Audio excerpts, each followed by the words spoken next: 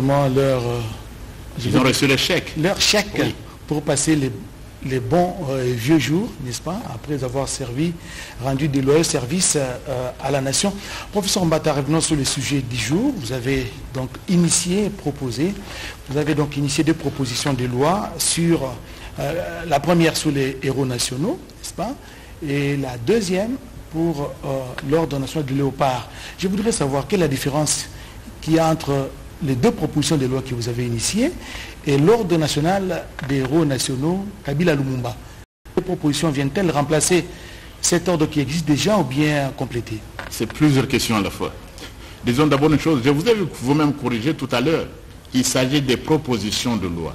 Il y a une différence entre proposition de loi et projet de loi.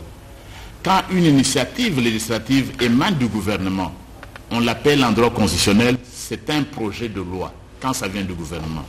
Et ici, nous parlons d'une proposition de loi. Une proposition de loi, c'est une, initiative législative qui émane d'un parlementaire, c'est-à-dire d'un député national ou du Sénat. Il y a donc cette différence-là entre proposition de loi et projet de loi. En tout cas, c'est important. Vous Merci l'avez dit tout à l'heure, il s'agit, on me l'a dit, c'est une, c'est une première.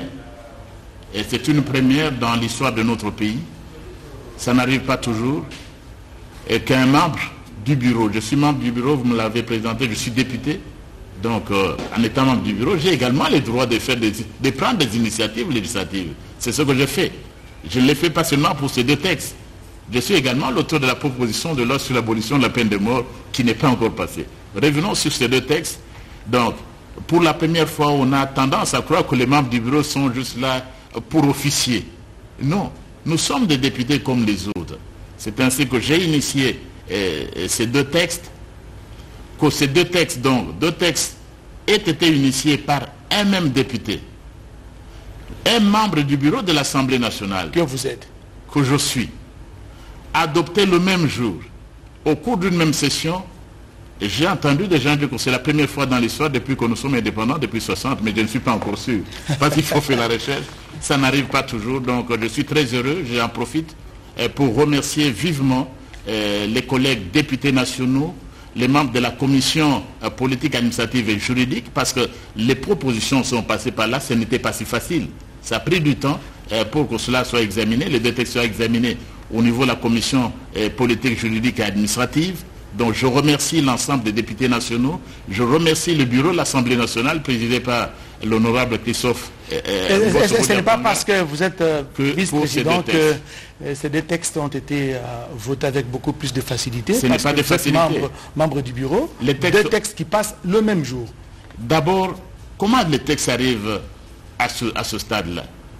Vous faites des propositions de loi, on les soumet au bureau d'études. Nous avons un bureau d'études. Et si le bureau d'études estime que les deux textes sont conformes à la Constitution, et, ils doivent passer, le bureau d'études émet un avis favorable. Mes textes sont passés par là. Le bureau d'études, nous avons certains de nos meilleurs juristes qui travaillent, ils ont donné un avis.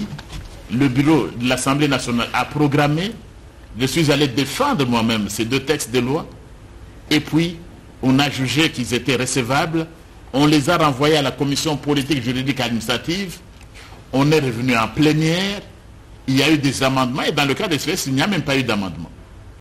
Et après, l'Assemblée nationale euh, souveraine a jugé bon, elle a, à une écrasante majorité, je dois dire, pour le premier. Oui, Euh, j'ai vu, il la sur, proposition sur, de euh, loi 346. Pourtant, création euh, de l'ordre des héros nationaux, c'était 341 voix, euh, 341 voix, s'il vous plaît, euh, pour, 3 abstentions et 2 contre. sur les 346 députés nationaux présents dans la salle. 341 votes.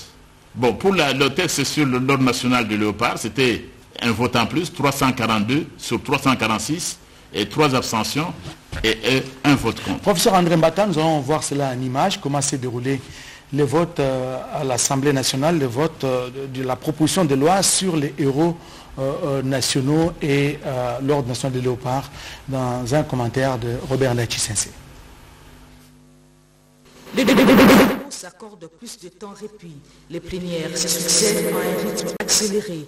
Mardi 7 novembre 2023, sous la houlette de Christophe Mbosoko Diapwanga, président de la Chambre basse du Parlement, les élus nationaux se sont retrouvés dans la salle des congrès du Palais du Peuple pour examiner et voter deux propositions de loi, la première sur l'ordre national des héros nationaux et la seconde sur l'ordre national des léopards. Initiative législative d'André Mbata Betoukomissou Mangou, premier vice-président de l'Assemblée nationale. Ce sont des Congolais qui auront rendu des services héroïques à la nation pour l'indépendance du pays. Ces personnalités qui ont lutté d'une façon particulière et extraordinaire pour l'indépendance du pays pourront être élevées à la dignité de héros national. Deuxième catégorie, ce sont des personnalités qui sont battues pour l'instauration et la consolidation, de l'état des droits démocratiques dans notre pays.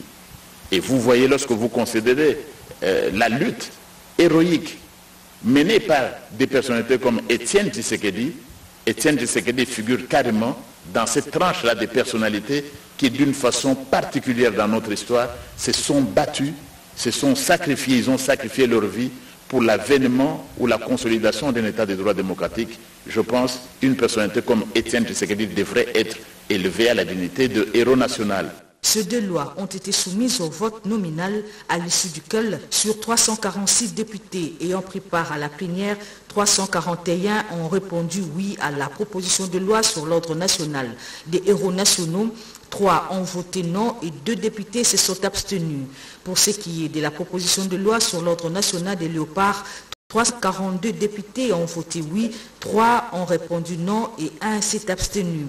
Après ces votes en plénière, ces deux tests de loi seront renvoyés au Sénat pour seconde lecture. Merci Robert Ndaye qui ont travaillé dans ce reportage. Euh, professeur André Mbata, il faut quand même le souligner, vous êtes euh, cadre de l'UDPS, n'est-ce pas? Une certaine opinion estime que c'est parce que vous êtes cadre de l'UDPS que vous avez initié ces propositions de loi et pour euh, permettre l'admission euh, de feu Étienne Tshisekedi Ouamoulumba dans cet ordre euh, national des léopards ou des héros nationaux. Bon, je dois d'abord dire toute la joie que j'ai ressentie qui était la mienne. C'est-à-dire entrer dans l'histoire comme quelqu'un ayant proposé ces deux textes, honorer les héros c'est tout. J'ai vraiment la plus grande joie. J'ai ressenti la plus grande joie en voyant l'Assemblée nationale adopter ces deux textes de loi. Parce que c'est vraiment très important. C'est très important pourquoi? Grandes sont les nations qui ont des héros. Et grandes sont les nations qui honorent leurs héros. Une nation qui n'a pas de héros, qui n'a pas de modèle, qui n'inspire pas, c'est une nation, ce n'est pas une grande nation. Et lorsque vous voyez le préambule de notre constitution, nous, peuple congolais, animés par une volonté commune de bâtir au cœur de l'Afrique un état de droit et une nation puissante et prospère, cette nation ne peut qu'avoir ses héros. Et je rappelle les que grandes nations professeur de droit et constitutionnaliste en même temps. Je suis professeur extraordinaire et professeur ordinaire en même temps. je, dois dire ceci, c'est très important que la nation honore ses héros.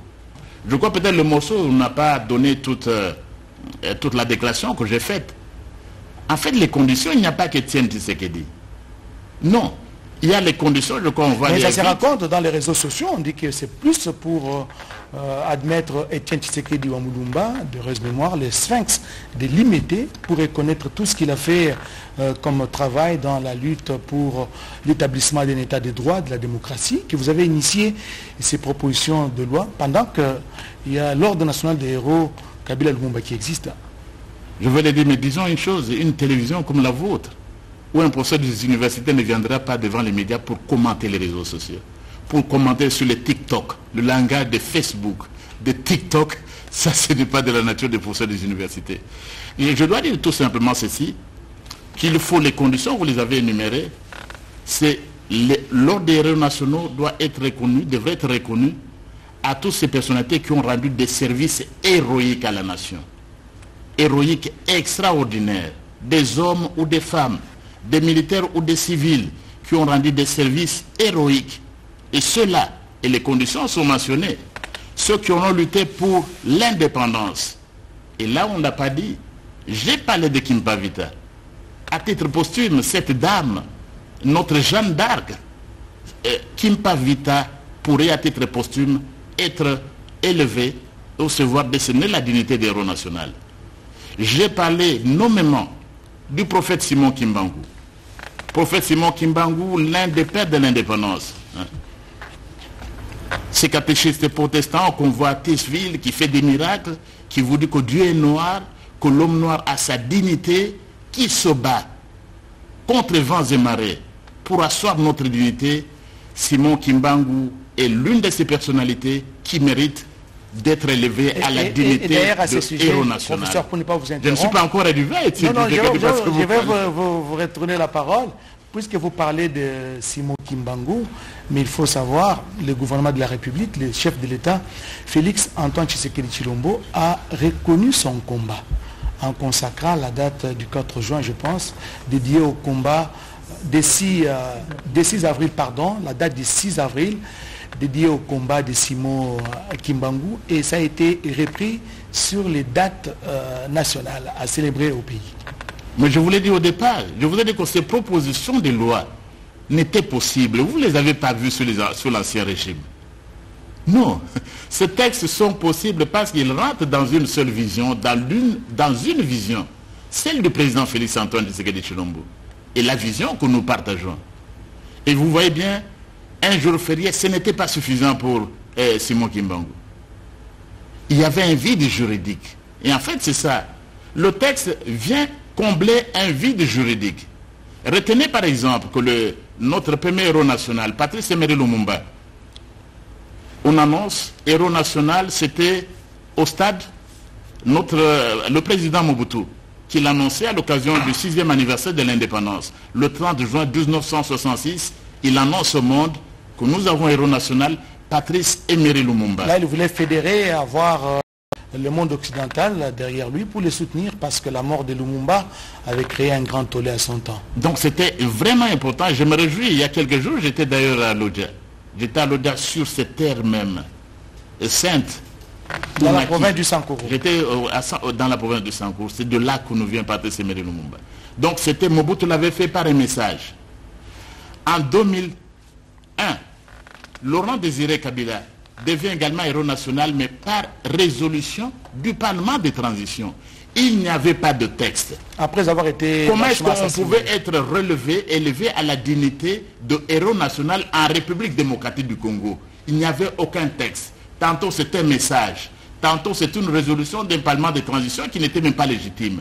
Il fallait donc, pour le juriste, il fallait, et il fallait donc combler ce vide juridique. Désormais, et j'espère que le Sénat va aller dans le même sens, désormais nous aurons un texte sur lequel quelqu'un, des personnes, des femmes et des hommes qui auront rendu des services héroïques pour être élevés à la dignité des héros nationaux. Et je dis également ceci, lorsque vous voyez l'article premier, cette dignité ne peut être reconnue qu'aux Congolais. Et ici, avec les héros nationaux, les Congolais vont un peu écrire leur histoire. Ça me rappelle un peu ces une phrase là de la lettre de Patrice Emery Lumumba, parce qu'il faut le citer, on parle des héros nationaux, lorsqu'il écrit à sa femme, à sa femme Pauline, En, 2001, en 1961, avant de mourir.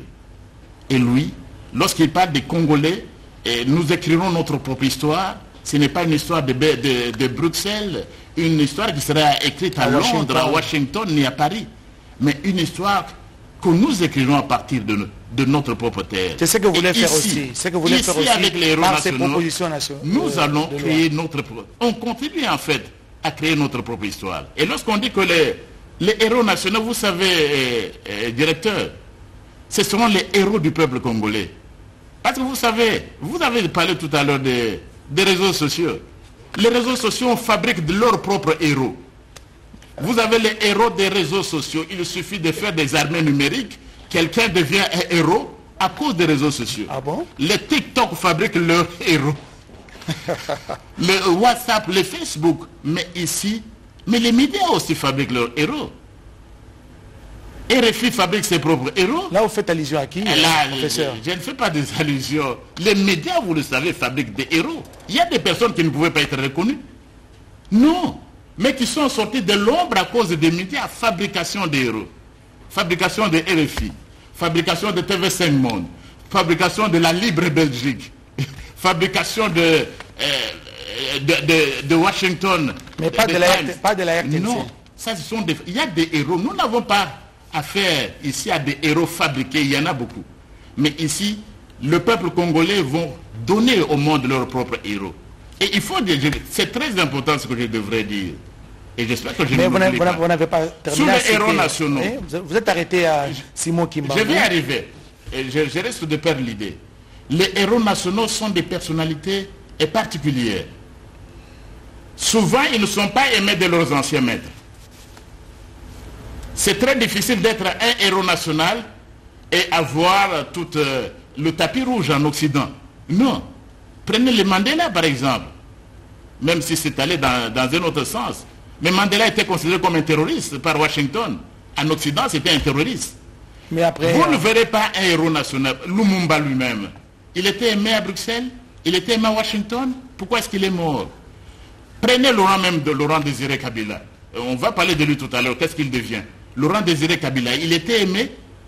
Les héros nationaux, ils dépendent de leur peuple. Ils partagent les souffrances de leur peuple. Ils sont le fruit de leur peuple. Et souvent, ils ne sont pas aimés. Et lorsque vous voyez une personnalité qui vient, qui devient votre héros national, on lui, il y a le tapis rouge en Occident, tapis rouge à Bruxelles, tapis rouge à Londres, à Paris. De, là, il y a un problème. Les héros nationaux, même euh, en Inde. Donc ils ne sont pas euh, la plupart du temps aimés par leur maître. L'Occident, c'est la Grande-Bretagne ne pouvait pas accepter un Gandhi qui a fait une lutte héroïque. Mais lorsque vous voyez une personnalité qui vient s'imposer, cette personnalité n'a pas, pas, la nature des héros. Donc il faut être congolais et là on écrit son propre, sa propre histoire. J'ai les conditions, les personnalités qui ont contribué à l'indépendance. Voilà. Cité Kimpavita, euh, Simon, Kimbangu, à sa manière et qui n'était pas aimé par les églises traditionnelles. Et le complot contre lui, c'était Après avoir fait beaucoup de miracles. Beaucoup. Beaucoup. Simon Kimbangu et le président de la République, Félix Antoine Tshisekedi a eu raison de le faire. Et maintenant, en dehors d'un jour déclaré férié, il faut l'élever maintenant officiellement. Il mérite, dès que cette C'est votre proposition. C'est ma proposition et je ne pense pas que le... Euh, qui va s'opposer au Congo À moins qu'on ne soit pas congolais.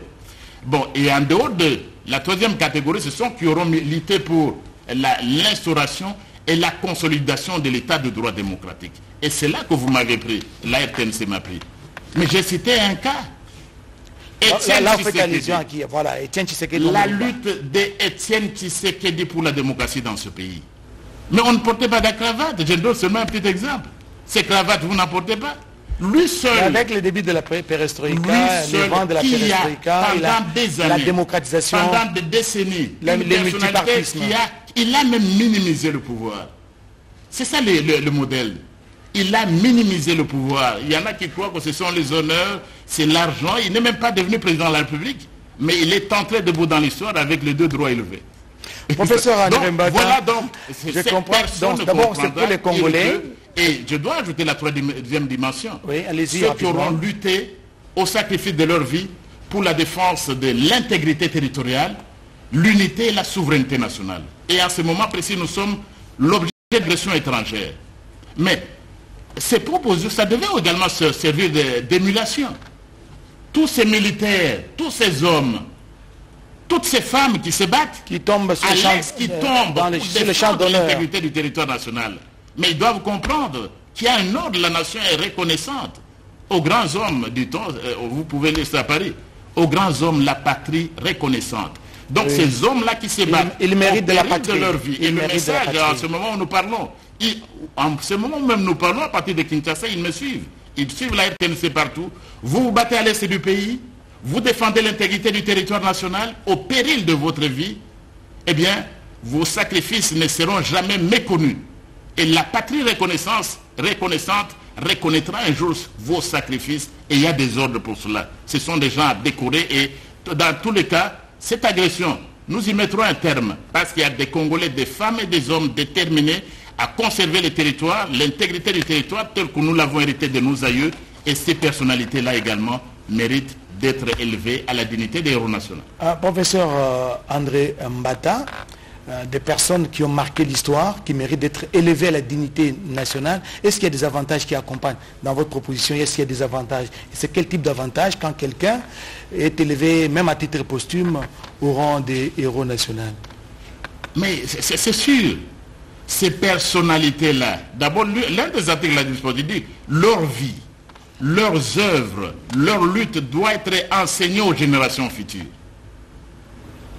et diffusée dans les cours d'éducation à la souveraineté, dans les médias, vos médias devront diffuser, parler des hommes, de leurs luttes, de leurs œuvres. Et c'est pourquoi. Mais nous venons d'avoir nos immortels. Les immortels, ce n'est pas seulement à Paris ou en France. Les héros nationaux sont nos immortels. On enseignera leur vie aux générations futures. Et Dieu seul sait combien de générations restent. Et quel honneur. Il n'y a pas de plus grand honneur. Et vous voyez le combat pour lequel ces gens se sont menés, les conditions. Tu ne deviens pas héros national parce que tu as amassé beaucoup d'argent.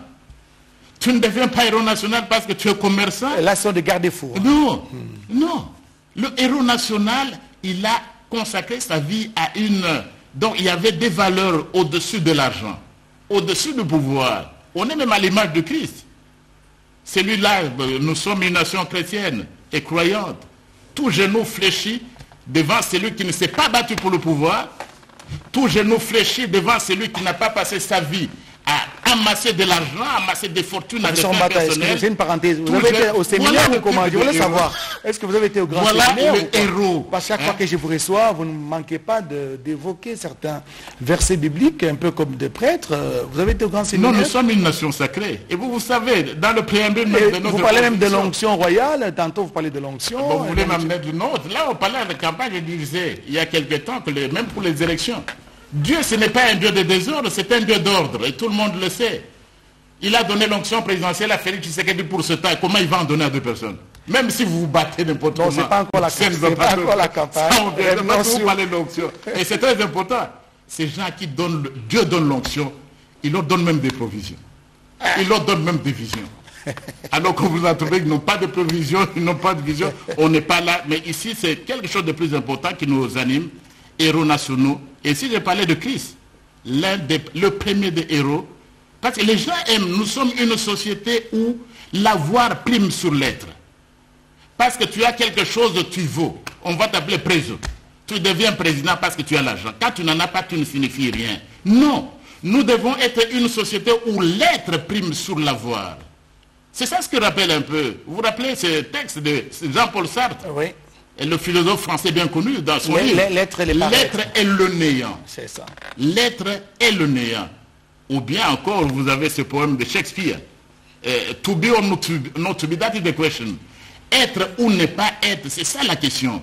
La question, ce n'est pas d'être, ou d'avoir ou de ne pas avoir. Parce qu'il y a trop de personnes qui passent trop de temps à amasser l'argent.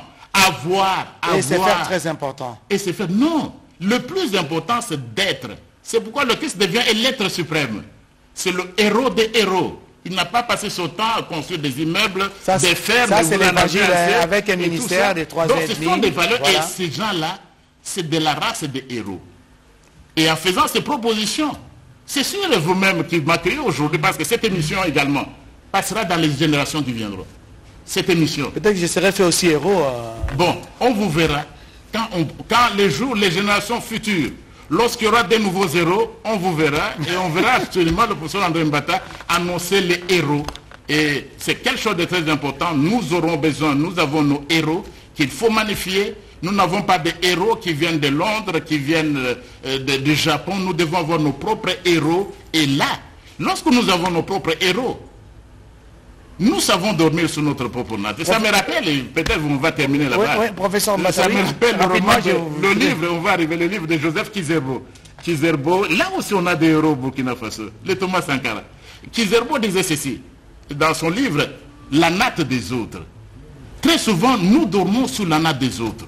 Nous pensons les, pensées des autres. Justement. Nous dormons sur les autres. Nous ne pouvons pas réfléchir les autrement. bon, il n'y a pas eu cette euh, remise en question dont parlait Mabika Kalanda.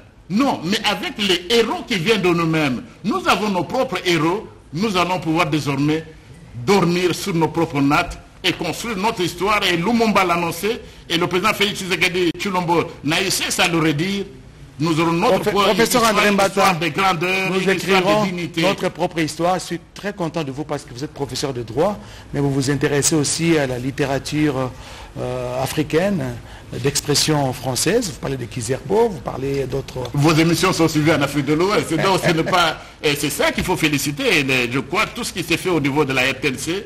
Lorsque je me suis retrouvé dernièrement à Dakar, on me suivait à Dakar. J'étais à Abidjan, on me suivait à Dakar.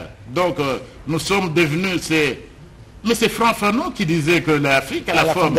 La gâchette est placée ici. On doit parler du Congo, être suivi. Mais c'était le grand tam-tam d'Afrique. Et ça redevient d'ailleurs, C'était le grand tam-tam. ça redevient avec Donc on pouvait le battre ici, être entendu à, à Cape Town, on pouvait le battre à Kinshasa, être entendu à, entendu à Nairobi, être entendu à au Caire, être entendu à, Accra, Même au Nigeria, nous recevons des appels. même euh, au Nigeria. ouais, ouais.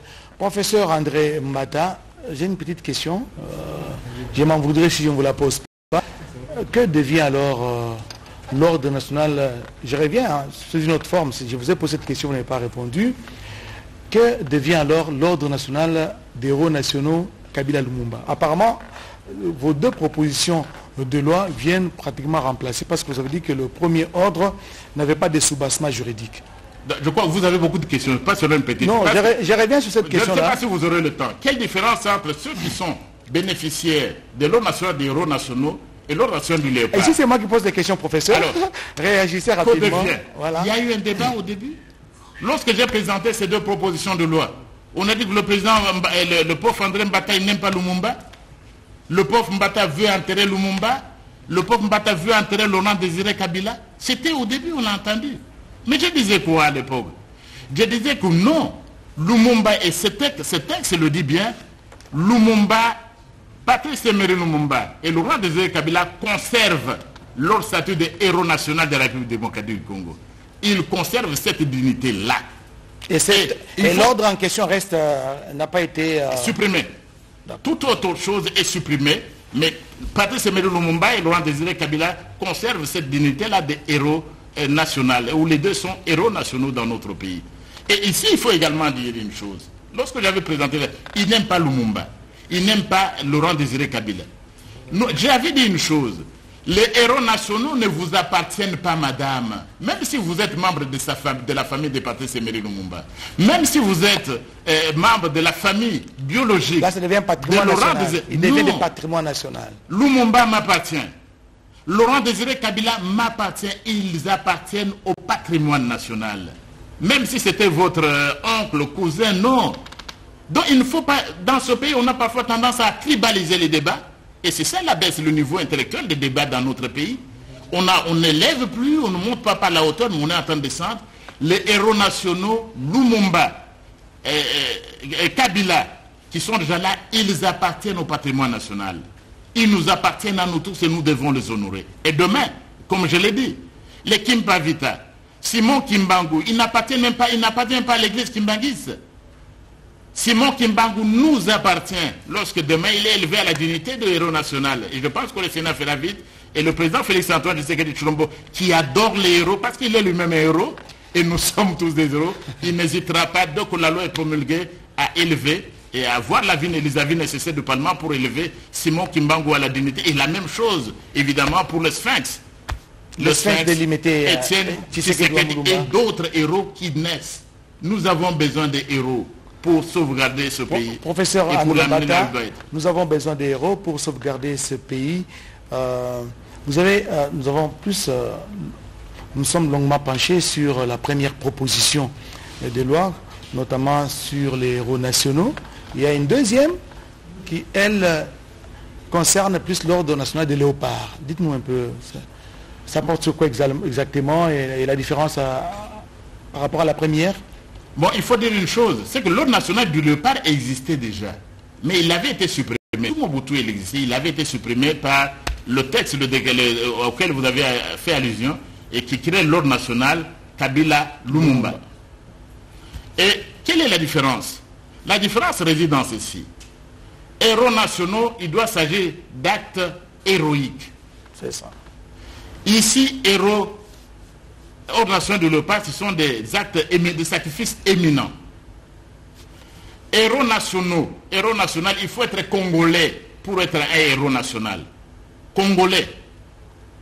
Et j'ai peur que ça soit c'est nécessairement un Congolais de père et de mère. Ah, j'allais vous poser cette question-là. Congolais, ça c'est un autre débat. Mais oui, tu, ne peux pas être, tu ne peux pas être héros national des, Américains, Oscar. Tu ne peux pas être héros national des Chinois Mais naturalisé américain. non, non. D'ailleurs, le chef de l'État lui-même accorde des facilités aux Congolais. Ça, c'est autre euh, chose. Nous parlons de héros national. mais naturalisé hein? belge ou français. Ici, nous parlons, il faut être Congolais. Alors que Congolais, l'ordre national du léopard... c'est encore un grand débat à être Congolais. Hein. L'ordre national du léopard, lui, cet ordre, on peut le conférer même aux étrangers. Et même dans les conditions. Les conditions sont, euh, euh, sont difficiles à réunir pour être héros national. C'est-à-dire la proposition, c'est le président de la République qui va prendre une ordonnance, mais sur proposition du Parlement, des deux chambres, il doit y avoir une résolution adoptée par les deux chambres à la majorité des deux tiers. Je suis sûr que les deux tiers ne peuvent pas hésiter à, voter pour Kimpa Vita. Et là, là, ce sont vraiment des garde-fous. Hein. Des garde-fous. Deux tiers du Parlement, ce n'est pas n'importe qui qui devient héros national. Mais ordre national du léopard, c'est simple proposition qui vient de chanceler des ordres nationaux et même des ministres sectoriels pour les étrangers ou les Congolais résidant à l'étranger parce qu'ils vous suivent également. Nos Congolais, nos compatriotes qui sont à l'étranger peuvent également devenir demain bénéficiaires C'est un titre honorifique de l'ordre national du léopard. Un titre honorifique. Honorifique, mais il, a, des Il ne peut pas être possible. Honoris causa. Non, c'est différent ici, c'est différent. Donc, honoris causa, ça c'est pour les universités. C'est un peu comme le... Ce n'est même pas comme le Nobel, c'est plus. Parce que le Nobel n'est de, ce n'est pas pour les étrangers. Vous savez, vous connaissez l'histoire de Nobel et d'autres. Donc ici, les Congolais qui nous suivent dans la diaspora, ils ont des réponses. Ce n'était pas donc, c'est en reconnaissant les services de Lumumba et de, de, Kabila, Laurent Désert, qui restent héros nationaux. Les Congolais qui sont à l'étranger peuvent être, eux, bénéficier, être élevés à l'ordre national du léopard. Les chefs d'État étrangers, les Congolais, mais pour des services éminents rendus à la nation congolaise, dont les conditions sont différentes. Et alors, qu'est-ce que deviennent-ils? Que deviennent-elles?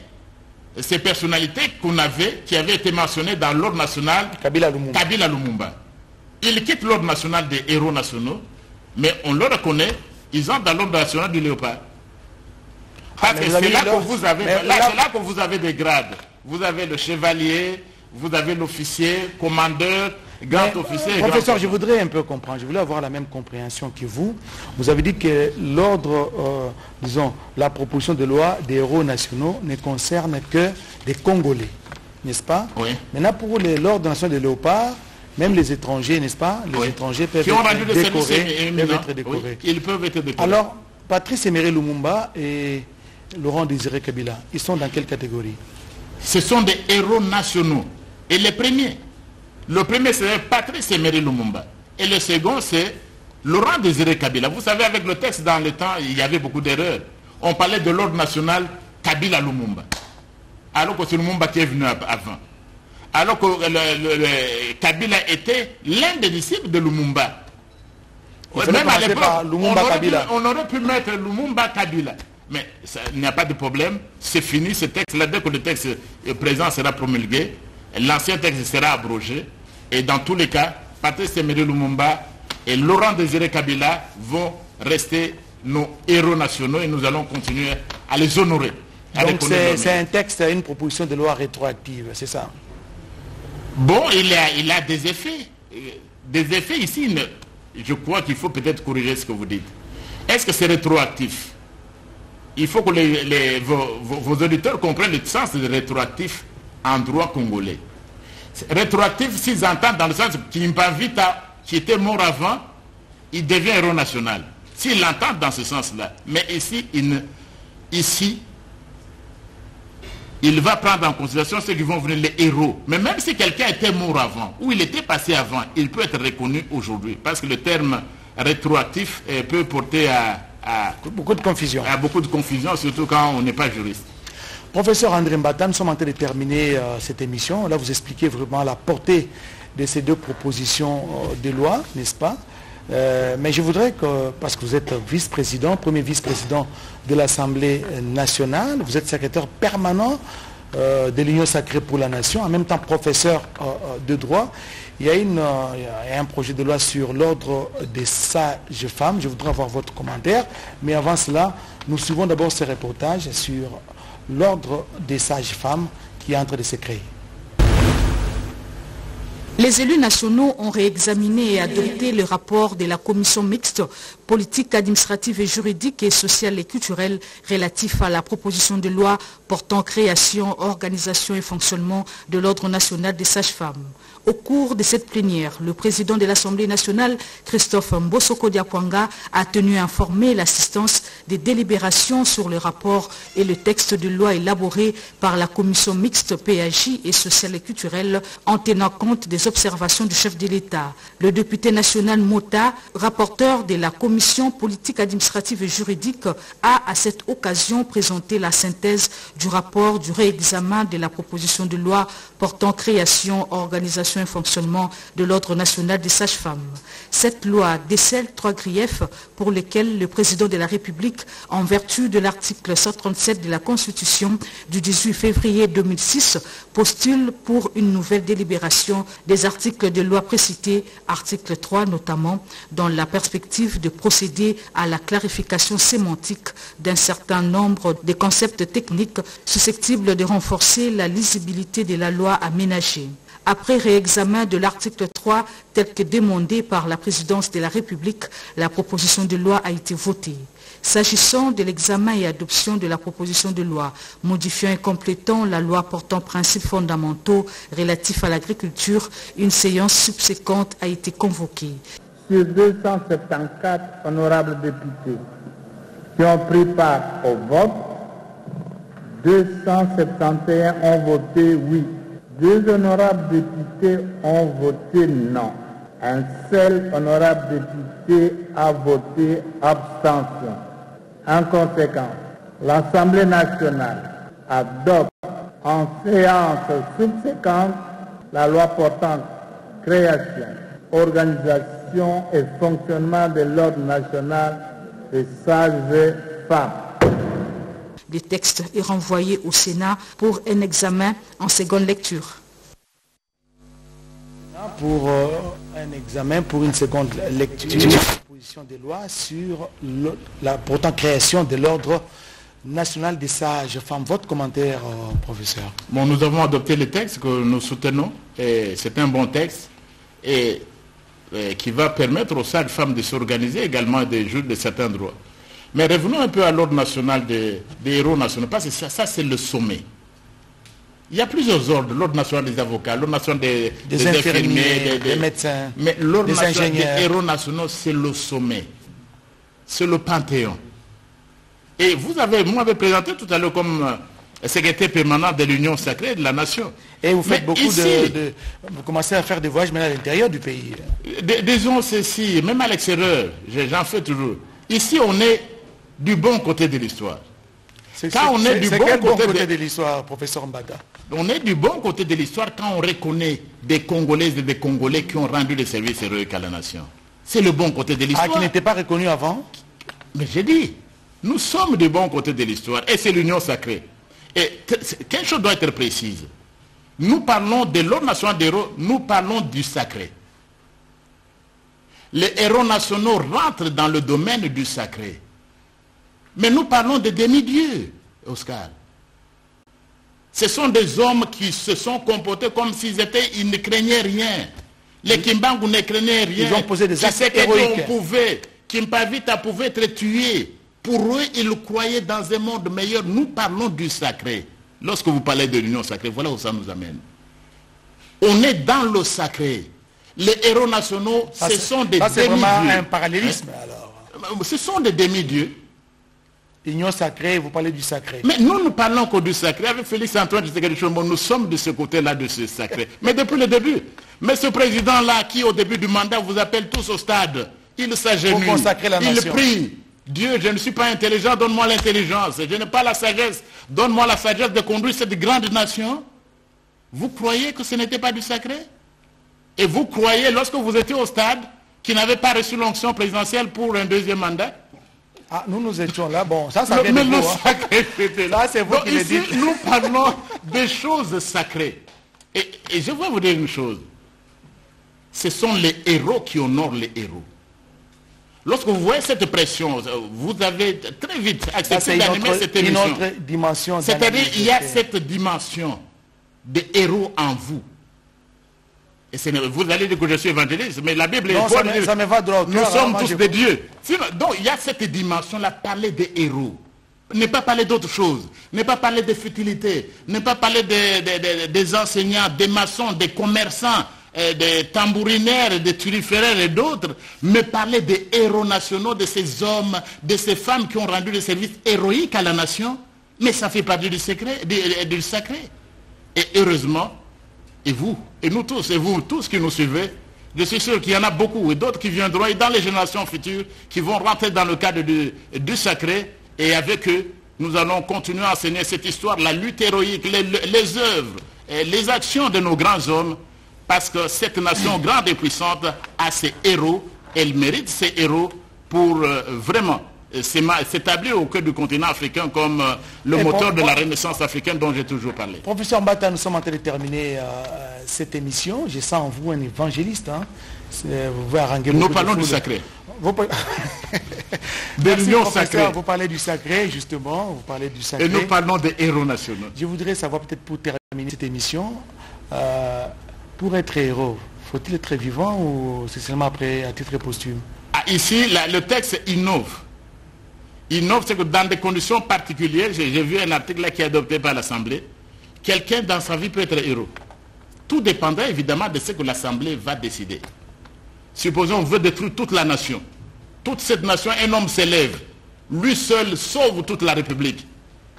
Le Parlement va juger. Le Parlement va juger. Donc il y aura maintenant des héros vivants et euh, même des héros à titre Tout dépend de la condition. Il y a des conditions draconiennes. Est-ce que les deux tiers vont se prononcer sur ce cas? Il ne suffit pas de le clamer. Non. Mais ce qui est important ici, c'est que les, nous allons, je reprends ce que je dis, grandes sont les nations qui ont des héros, et nous devons, ça c'est très important, Oscar, même si vous n'avez pas beaucoup de temps, nous devons avoir une nation qui honore les siens. Nous sommes parfois une nation où quelqu'un fait du bien, on le rabaisse. Nous sommes une nation où quelqu'un s'élève, au lieu de s'élever avec lui, au lieu d'acclamer, on dit celui-là c'est qui? Qu'est-ce qu'il vient faire? Pour qui il, se prend? Nous sommes parfois une nation des jaloux des gens qui se combattent pas reconnaître les mérites, des autres. Dans nos services, là partout où vous travaillez, s'il fait quelque chose de bien, au lieu de le louer, on ne le loue pas. Au contraire, non. Nous devons être cette grande nation. C'est l'un des objectifs de la loi. Nous devons être cette grande nation qui reconnaît les siennes. Même si c'est quelqu'un d'autre, même si c'est votre voisin, même si c'est un autre, on ne va pas au-delà de la tribu. Et vous voyez ces hommes, les Tshisekedi, les Kimbavita, les Kimbangu, c'est au-delà de la tribu. Au lieu de l'ethnie, nous devons être une nation, ne peut pas continuer à réfléchir sur la tribu, sur l'ethnie, comme on le verra euh, bientôt aux élections. Non. Une nation puissante et prospère, c'est une nation qui se construit sur base des valeurs et des principes qui ont animé la lutte des héros nationaux. Professeur Mbata, c'est par ces, termes, cette invitation, cette interpellation justement que nous bouclons cette émission, à moins que vous ayez un petit mot à dire, parce que deux propositions de loi défendues euh, le même jour par un député national que vous êtes, n'est-ce pas, et membre du bureau. Et ça a été voté à l'écrasante majorité. Un petit mot pour ceux qui nous suivent en 30 secondes seulement. Bon, je, suis heureux, il semble que c'est pour la première fois depuis le temps je ça, depuis qu'on a un Parlement. Mais là n'est pas le plus important. La lutte, ce n'est pas à moi-même que je voulais la rendre. La gloire, l'honneur, c'est aux héros nationaux. Je voudrais inviter donc notre peuple à s'approprier le combat de nos héros nationaux, à s'approprier de leur lutte, de leurs œuvres, ces femmes, ces hommes qui ont lutté au-delà de la tribu, au-delà de la province, au-delà de la langue, qui se sont battus pour ce pays. Et à ceux-là qui sont au front, ils, savent que le chemin est ouvert. La nation va reconnaître leur sacrifice. Et que nous tous, finalement, nous devons être une nation de héros une nation des gens qui se sacrifient pour leur pays et pour leur patrie et qui la défendent. C'est à cela, en fait aussi, c'est à cela que nous invite les deux propositions de loi qui ont été adoptées hier par l'Assemblée nationale de la République démocratique du Congo. Mesdames, Messieurs, il ne me reste qu'à vous dire sincèrement merci. Merci infiniment, professeur Mbata, chaque fois que nous l'invitons. il bouscule son agenda pour euh, répondre à notre appel. Merci professeur d'être venu. Merci surtout à vous tous qui nous avez suivis à travers le pays et le monde. Bonne suite de programme sur votre télévision.